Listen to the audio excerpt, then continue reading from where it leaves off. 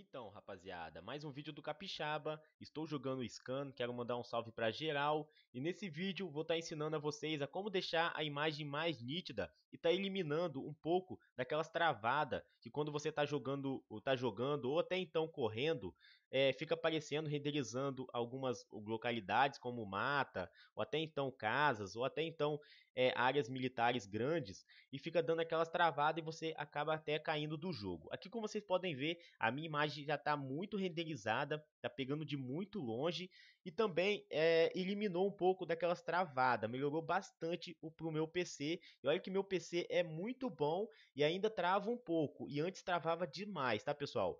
Então, eu vou estar tá ensinando a como tá dando uma melhorada no FPS, na qualidade e também a como tá deixando a imagem mais nítida, né, desse desse jeito e tá renderizando mais rápida, tá, pessoal? Então, vamos nessa, vamos para o vídeo.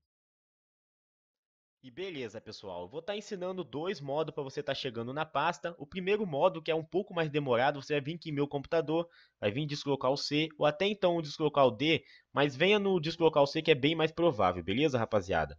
Vai vir aqui em pesquisar, digita scan, deixa procurando, né? Vai demorar um pouquinho. Esse é o primeiro modo, tá, pessoal? Quem não conseguir, tenta o segundo modo que vai dar certo. Beleza, a pasta já apareceu aqui, como vocês podem ver. Vamos vir aqui em Saved, Config, Windows e Game Using Settings. Beleza. Para quem conseguiu pelo primeiro modo, né, primeiro passo, já fica aqui na pasta para estar tá alterando depois, que agora eu vou estar tá ensinando o segundo modo, que é bem mais fácil e mais rápido. Vai voltar para a área de trabalho, vai digitar a tecla Windows mais R, vai aparecer o programa de executar, e aqui você vai digitar porcentagem, temp porcentagem. Dá um OK, vai clicar em local e pesquisar scan também. Vai aparecer bem mais rápido a pasta. Vamos clicar em saved, config, Windows e in game.